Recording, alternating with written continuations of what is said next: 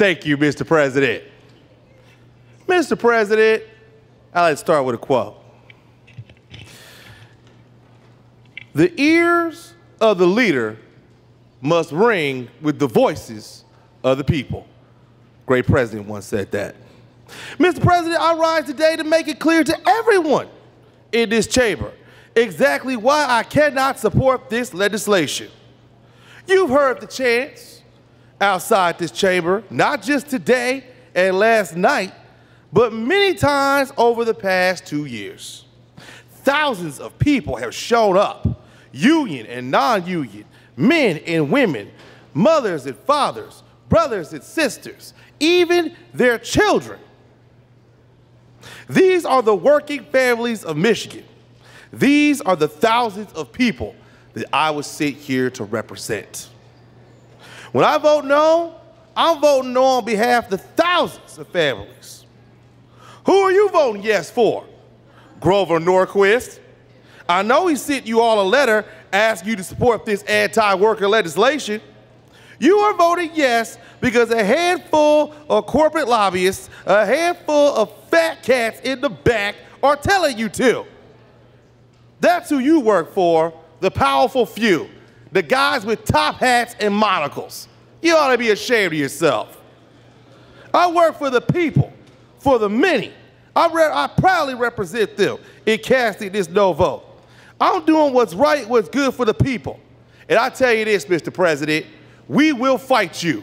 We will not let this stand. We'll fight you from Kalamazoo to Timbuktu. We'll fight you from the streets and in the suites. We'll fight you in the pit house and we'll fight you in the outhouse. And Mr. President, I'll tell you this right now. When it's all said and done, when it's all over, we will grab the thunderbolt of truth. We will grab the rod of revolution and we will have our victory. And the spoils will go to the working people of Michigan. And you will forever remember the day when you thought you could conquer labor. You were sorely mistaken. Be prepared to engage in the fight of your life. You might win this battle, but ho, ho, ho, the wars are brewing, sir. The wars are brewing, sir. And we're coming, and we're taking no prisoners, and we're taking no quarter. And Mr. President, when all said is done, working men and women of this state will reign supreme. Thank you, and I ask that my comments be printed in the journal. Hello and welcome to the Young Effect. I am your state senator, Coleman Alexander Young II. It is always an honor and privilege to be here with you live on TV 33 WHPR. Uh, you can all see us all around the world at www.tv33whpr.com. That's TV33whpr.com. The numbers for you to call are right here on the screen. That being said, um, please join me for a moment of silence for our fallen. We had another police officer mm. uh, who had passed away recently mm. uh, due to a training exercise. Officer Matthews, I believe, is, who just passed away. I'm sorry, the name just escaped me right at this time. Um, I'm going to get that as soon as we're talking here. But I mean, I, I just think that this is unfortunate that we having people. It, it just seems like as elected official, because I go to these events and I go to a lot of funerals and it seems that that's all I'm really going through right now, or going to right now. And I think it's wrong, man. And I think this young man, everything he was, everything he was going to be, every life he was going to touch, uh, everyone he was going to impact is now snuffed out. And I think it's just unfortunate, and I think it's just sad. And uh, my heart goes out to him and to his family. Uh, I think, you know, I'm sure we're going to have an investigation, make sure that this doesn't happen again, and get to the bottom uh, of what happened and how this occurred. But uh, let me just say this again, and I'm going to stop looking because I can't find it. So, I, but I just want to say to his to the officer who passed away and to his family, I just want to say we love you and we're praying for you, um, and we thank God for you, we are we are saddened by your sacrifice, we thank God that you had people in your family who are willing to give the ultimate sacrifice of their lives so that we can have safety and we can have peace of mind and freedom right here in the United States of America. So we thank God for you. We also thank God for all of our servicemen who all need to come home who are from in Afghanistan, in Iraq, excuse me, not Iraq, excuse me, in Afghanistan. We thank God for you. We appreciate you. We love you. And we're going to continue to keep honoring you and fighting for you until every single one of you comes home. So please join me in a moment of silence for the fallen in Afghanistan, in Iraq. Please join me for a moment of silence for the fallen police officers, Absolutely. firefighters, emergency service personnel, Officer Darren Weathers, excuse me, Officer Darren Weathers and his family. We love you. We thank God for you. We're praying for you. Second precinct.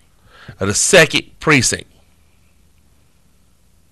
So, with that being said, please join me in a moment of silence for the fallen and for those who continue to fight on the front lines of our military and our police, our firefighters, our emergency services personnel, our bravest and our finest.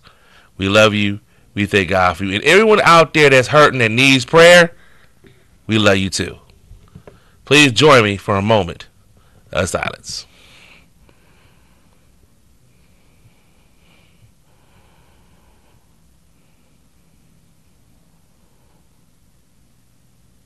All right, thank you for that. And with that being said, the numbers are right here on the screen. I'll read them out 313 868 4336, 313 868 0351, 313 868 4336, 313 868 0351 please call in. Now, usually I do this solo, but I'm going to have this person on again because the topic that we're going to talk about today is a little bit different. We're going to talk about, that's right, we're going to talk about the new movie that just came out, the worldwide phenomenon, I'm speaking it, Black Panther. Wow. And that being said, I am here with the awesome, the incredible, the stupendous, the tremendous, the beautiful and brilliant Annivory Calvert. Hello. Thank you so Thank How you doing? I'm doing great. Always a pleasure to have Thank you. you so very and every much. time on this show, someone calls in and says, "I love Detroit." I just want you to know that. and I'm like, "No, that's not what this program is." And they're like, and they're like, "Well, when is I love Detroit coming back? I want to talk to her. You, you, you need to get out of here." Thank they you. Talk to I love Detroit. So I just let you. Now, before I begin uh, Brother Bay just told me that Black Panther came out on the same day as, as Huey Newton's birthday. Day after. The day after mm-hmm. Huey Newton's birthday. Yes. Now, you know, it's funny that he says that because if you talk to people who are like in Stan Lee or people who were in Mar- the day before. The day before. The day before? Okay, the day before. Me. The day before. You talk to people who are in Marvel. Uh-huh. You talk to people who are the big wigs. They will tell you that Black Panther had nothing to do with the Black Panther Party. Okay. That the Black Panther movie is totally different than the Black Panther Party. Right. Even though this came out the day before Huey Newton's birthday, and in the movie it actually began and ended in Oakland. Right. Which is where the Black Panther Party was born at. Oh.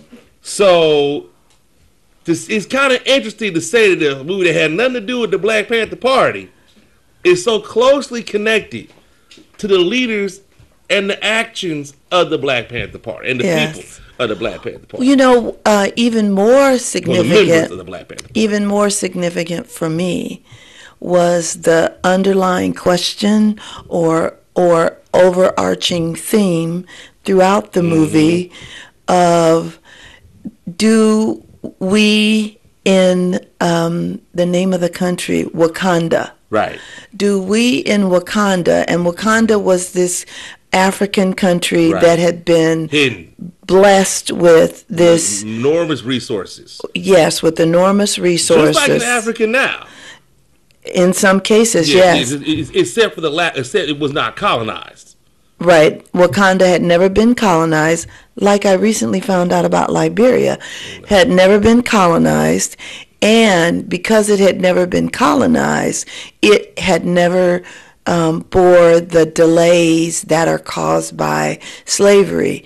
Um, I was listening to somebody late last night on TV who said that slavery not only enslaves the people who are slaves, but it also enslaves the slavers because you are tied to this system. So as a result, you don't advance as far technology techno- technologically Right. as you could Right.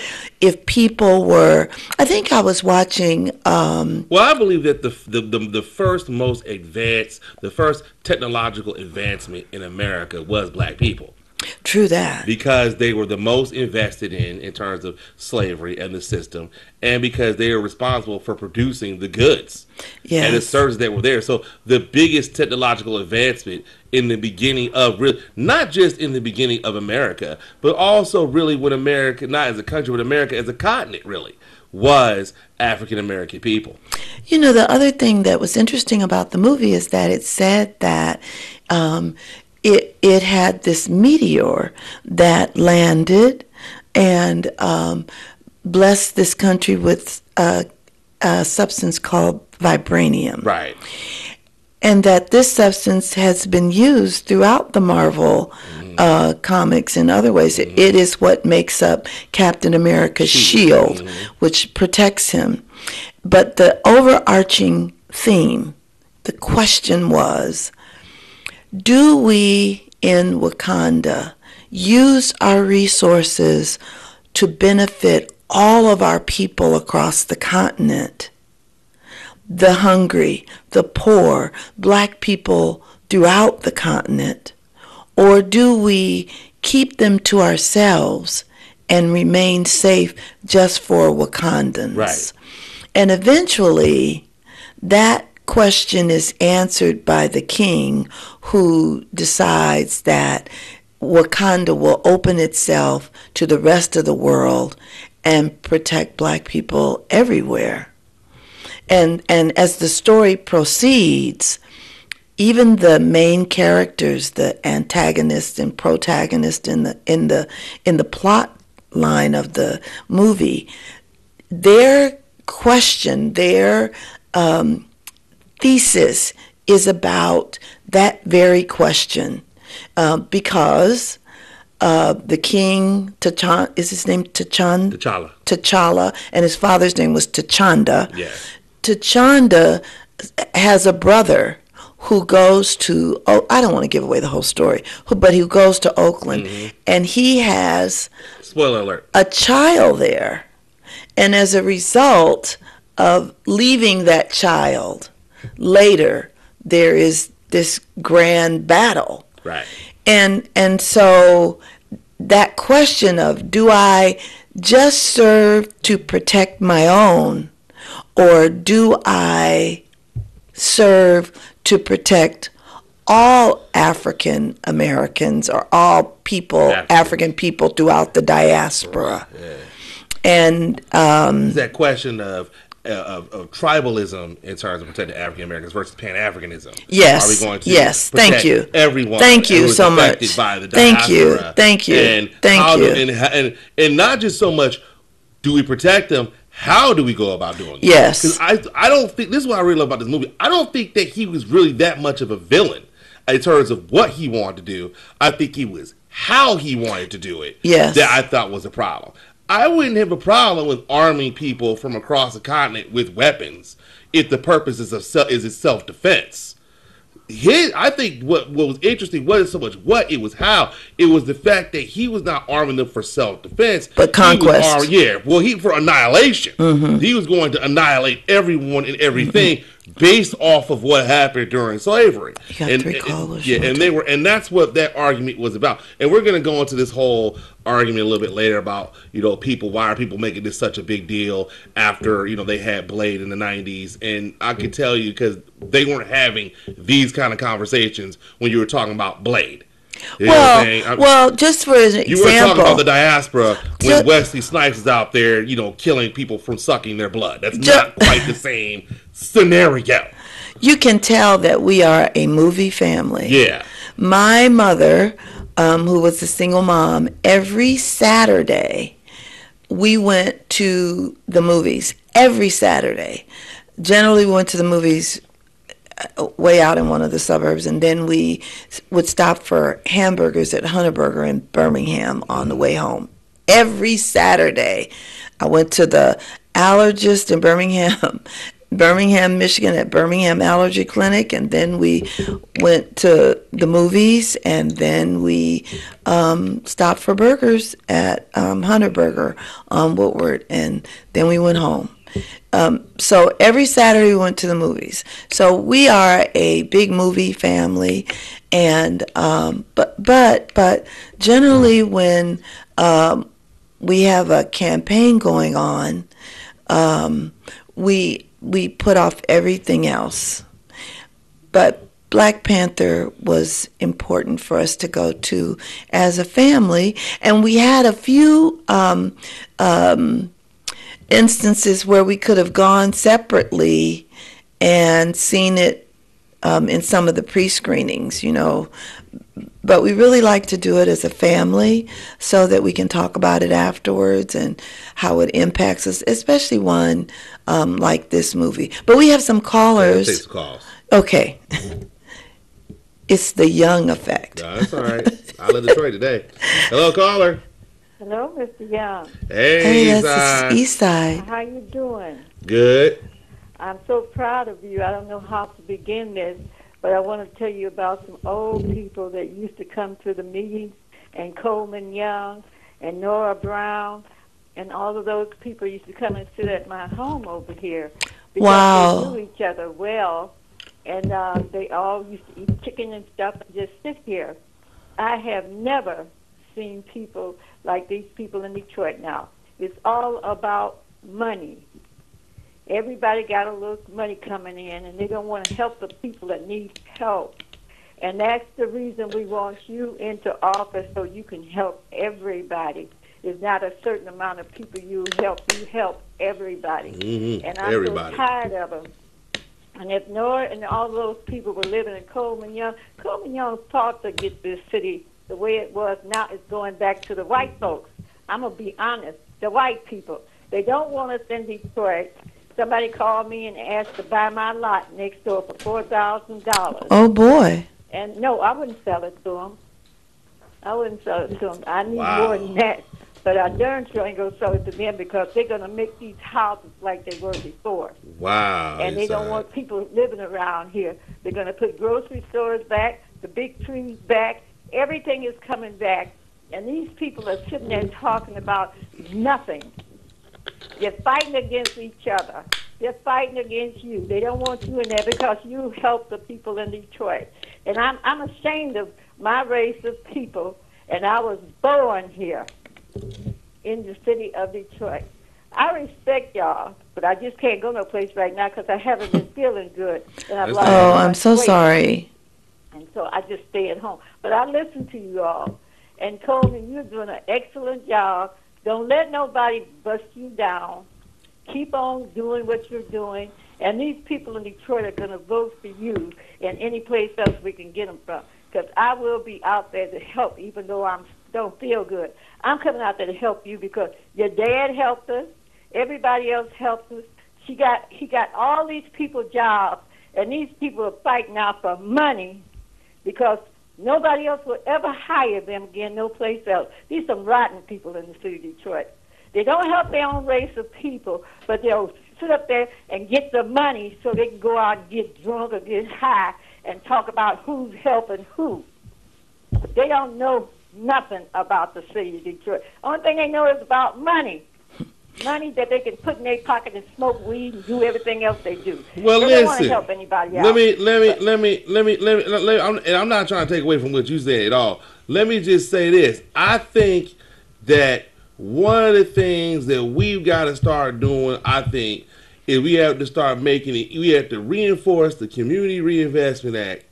And we have to start making it easier for folks who are African American to be able to get loans, whether it's for business loans or whether it's for home loans. You are six times more likely to be denied, according to the, uh, I think it was a, a, a girls' report. I forgot exactly what it's called, but a report for girls, six times more likely um, in order to be denied for a home. No, Black Women Rock, that's what it was. Report. Six times more likely to be denied for a home loan because you are African American in this city. Two times more likely in the region. And you also more likely be arrested, denied if you Latino as well. This is a significant problem. And I think the re- particularly in the African American community, because folks don't have access to capital. You have a school system that we need to repair. One, I think we need to do. I said one. I think we need to start making sure that we had tuition-free college as well. That's why I'm running for Congress by doing away with a subsidy that we give Wall Street in terms of billions. And I think it's 168 billion that we need to start in order to make sure that we can take that money and invest it in tuition-free college for our for the people here across the country, and that will help the people here in the city of Detroit, as well as make sure that we. Um, start doing more to invest in our school districts. I think that's something that's very important. And change the laws that we have now that make it harder, that make it where people, our teachers, are compensated more for going to well-to-do schools than they are for teaching in poor areas. That's something that's very important. And we also got to make sure that, listen, Eastside, we also got to fight to raise the minimum wage. You got folks working two, three jobs who can't make ends meet right now because they yeah. got getting paid enough in order to do so. And the greatest country on earth, most wealthiest country on earth, there's no reason why people are working full time and they not and they can't afford to feed themselves. We also need to do something about taking people's overtime from them. Because Donald President Trump has passed as a sign of order and is not fighting it that basically allows uh, for people people to work overtime because I think because uh, no because the overtime regulations have not been updated, and Obama had an order that basically updated those regulations, and he signed it. It expired, and Donald Trump has not re-signed onto it. And the business community filed a law. Certain people in the business community filed a lawsuit in order to stop it, where basically people were going to get paid for working overtime.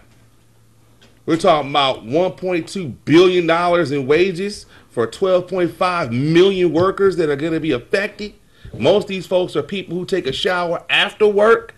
You know what hmm. I'm talking about, Eastside. That's what's going on. I'm not excusing people for, you know, committing crimes or doing things that are wrong. It's not what I'm saying. But if we live in a society where if you are black you are 103 times more likely and 70 times more likely if you Latino to be in a higher price mortgage than your white counterparts. If you more than likely for being arrested for the possession of marijuana than your white counterparts, even though you use it at the same rate as they do.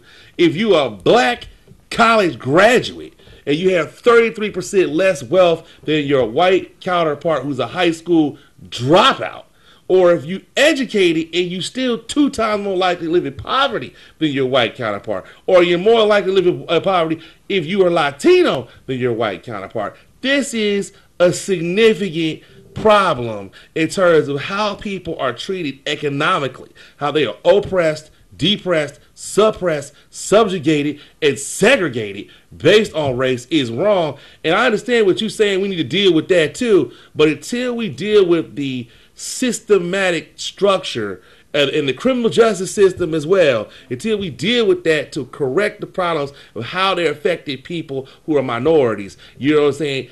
We can't have the conversation, I think, about you know how people are supposed to act and what they're supposed to do until we start talking about how we're gonna reform the system first.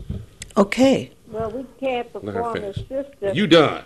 I'm done. Go ahead. reform the system until the people come back together like they were when your father started this stuff in the city of Detroit. That's when we're going to get back together. As long as these people work for money and not to help each other out and not to help the seniors and put them in a home where they're supposed to be at, we're not going to have anything anyway. And these people are fighting against us. And these are people that y'all know real well. Now, when Coleman Young told us to vote for JoAnn Watson, we got together and we voted for JoAnn Watson. Yep when he told us to vote for somebody else, we voted for those people, and those people work for the people in the city of Detroit.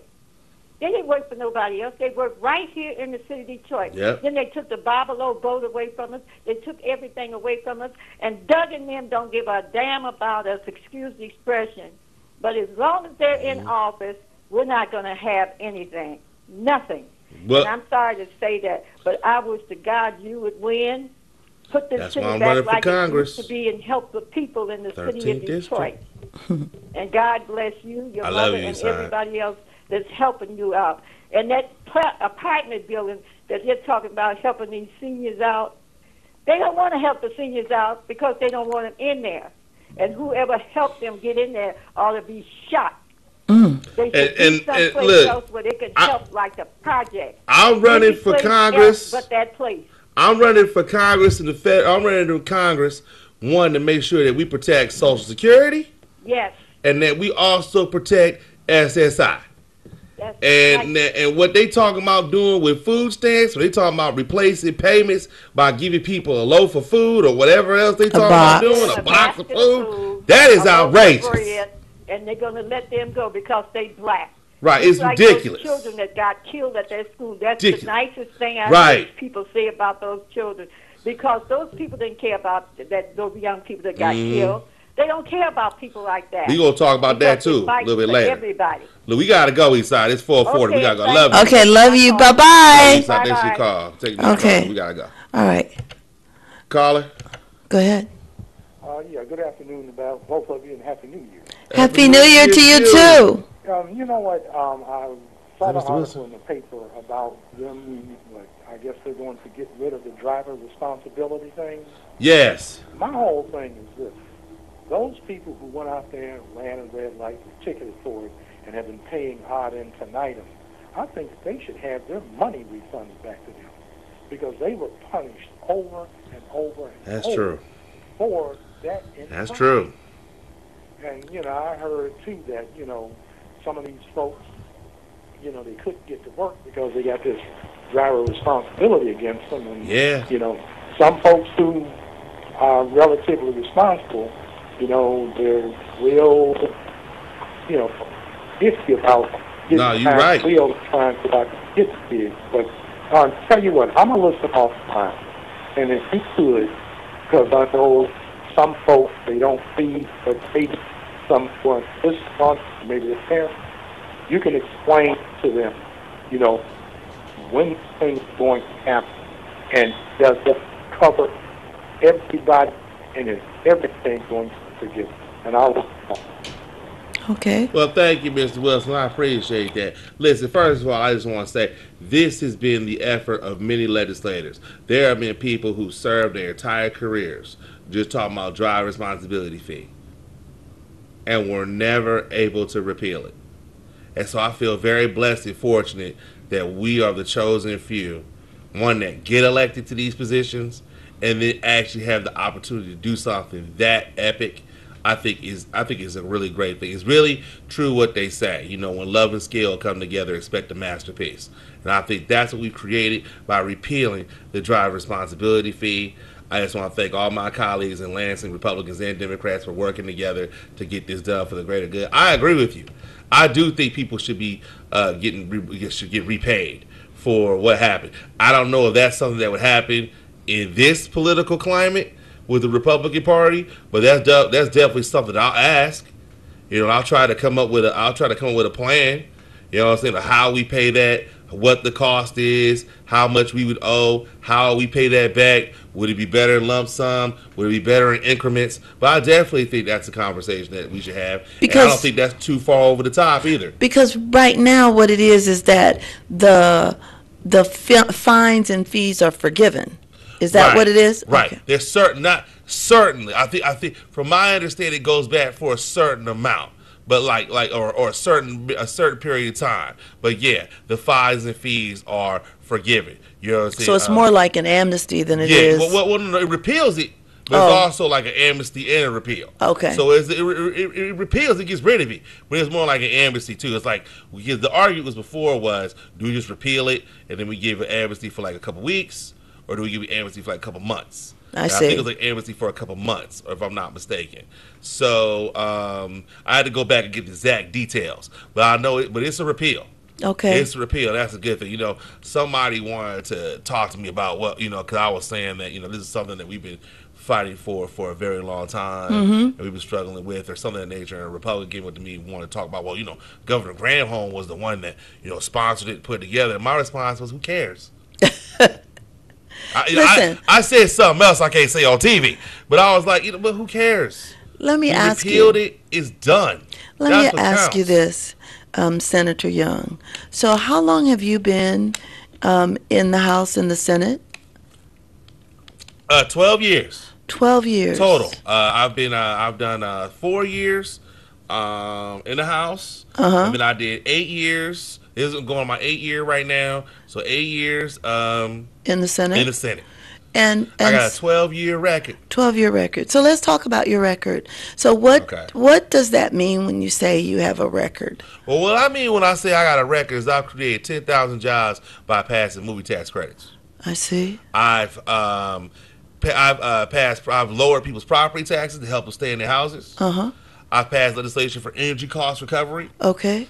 I passed historic civil rights legislation, Historic. making sure that women who receive mandatory paid leave, if a man receives mandatory paid leave, a woman has to receive mandatory paid leave as well in both the public and the private sectors. Uh, I've also uh, passed legislation appropriating. Um, oh no, I've, I've, I've passed legislation regulating the medical marijuana industry. Okay. And I've passed legislation appropriating five hundred and fifty thousand dollars to the Charles H. Wright Museum. Okay. I passed historic legislation appropriating um, two million dollars to Focus Hope Mm-hmm. and six point eight million dollars for Heat and Eat. That's assistance for low heating and low energy income folks, which will allow me to draw down three hundred million dollars for the from the state. federal government For the state. As my father used to say, I bring home the bacon. and That's that's, what I've been doing. I've been getting good. it done. That's good. Okay. Thank you so much. We've got some calls. You want to take Yeah, some? let's take some callers. Okay. We can talk about Black Hello, whatever caller. is. Hello. No. Hey, um, good, good, good afternoon, fellow patriots. Hey, how are you, Big Les? Hey, I'm fellow good. patriots. It's good to see you too. Thank you. Uh, yeah, I, I, I saw the movie, and um, it was very important that we have a movie like this for Yeah. young people to to uh, engage in conversation on. 'Cause, Yeah. You know what you said, y'all family went to the movies, so did we. You know, Oh, me good. Brothers, we went to the movies every Saturday, and one of the movies that really affected us was the the um, the uh, movie with Sidney Poitier, The Heat, the Heat of the Night. Oh yes, In the Heat Mister. of the They Night. call me Mister Tibbs. That's right. That line was so powerful in that movie that we talked about that for almost two weeks. Okay. so uh, you know the movie, the Black Panther movie, it was such an impactful movie, and it had such a, a great deal of history in that movie. Yes, too. it did. So, uh, so I say this is a perfect time, you know. And the folks that you know saying, uh, you know, what happened to the black? I mean, uh, in Hollywood, it's been stressed movie. You know, like I said, when Spike Lee uh, made Malcolm X, he had a financial uh, situation, Right. and they didn't uh, pay him. Uh, I guess uh, all the money that he needed to finish the, the Malcolm X movie. So he reached out to Magic Johnson, Oprah Winfrey, Michael Jordan, and guess what? Those funds opened up to him. They they Right. gave him the money.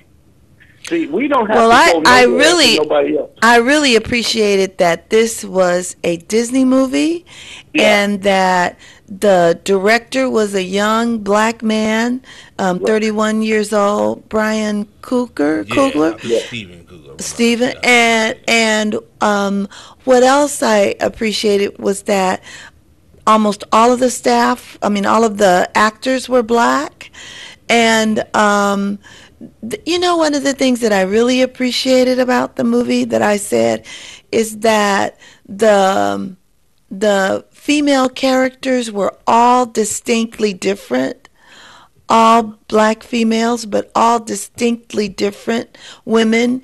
And um, it, it was just a joy um, to watch these very powerful women who were all very different.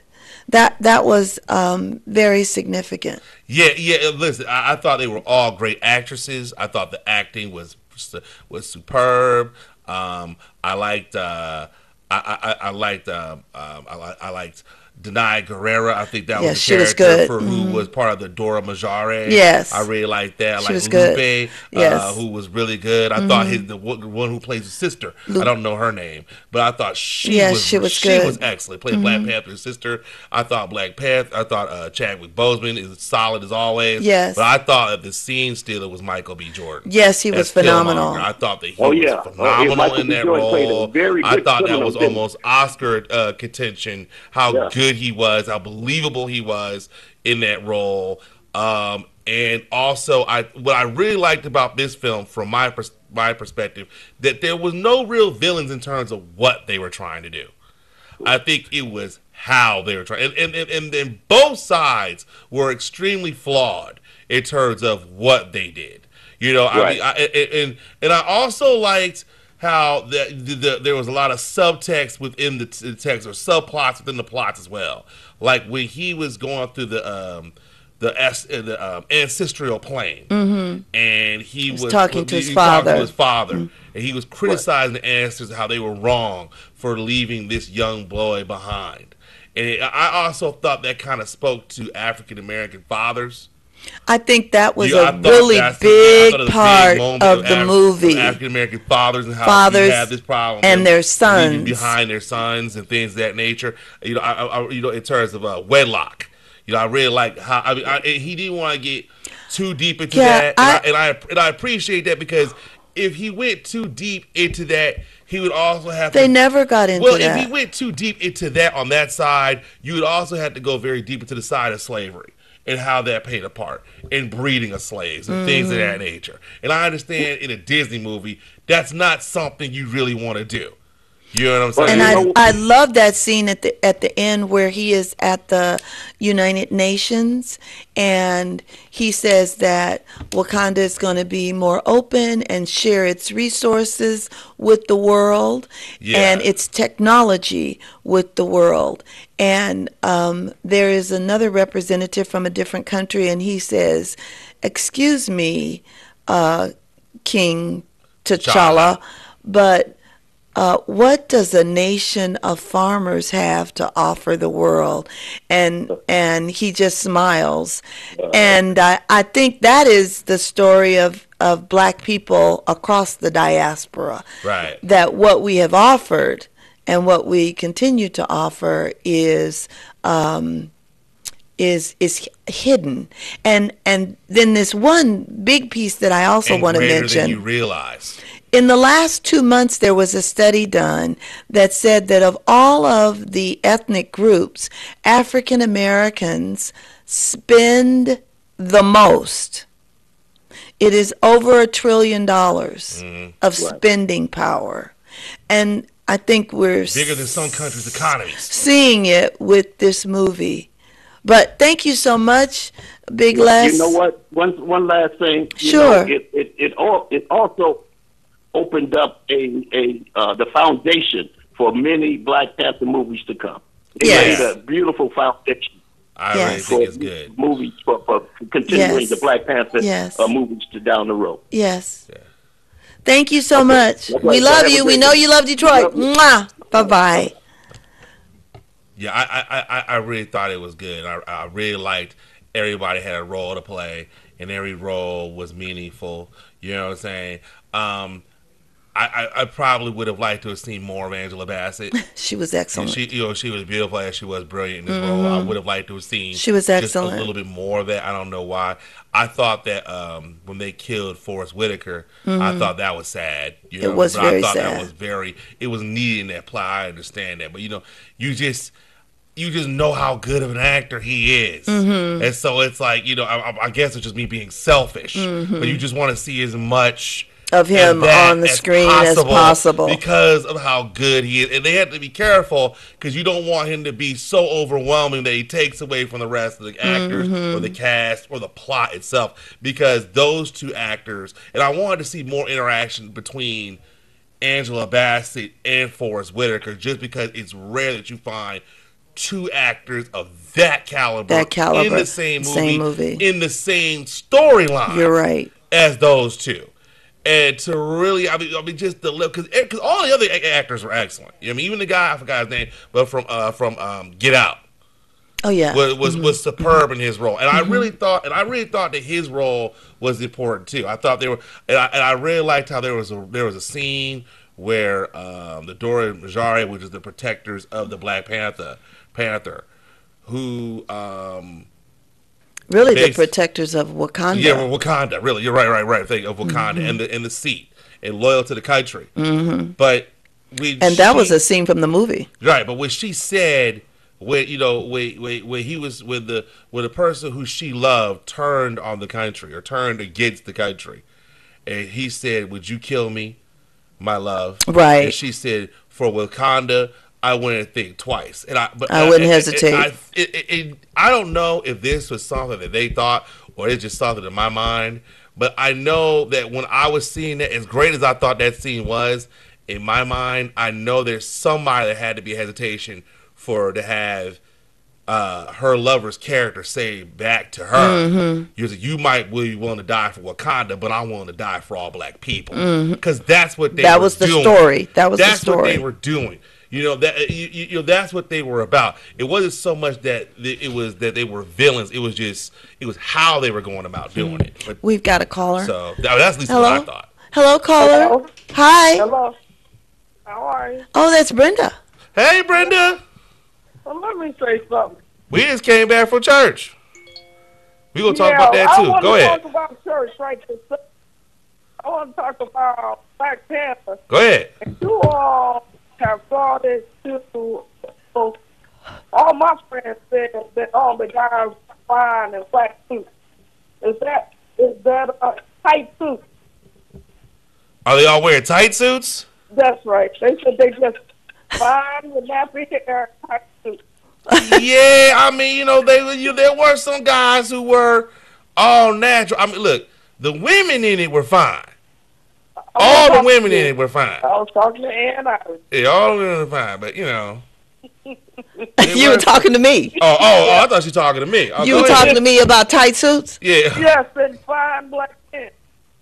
Well, um, there there were they were good looking black men. Oh, you mean good in the oh, movie? I thought you meant- But they were, you know, I I thought you meant I tight, like was.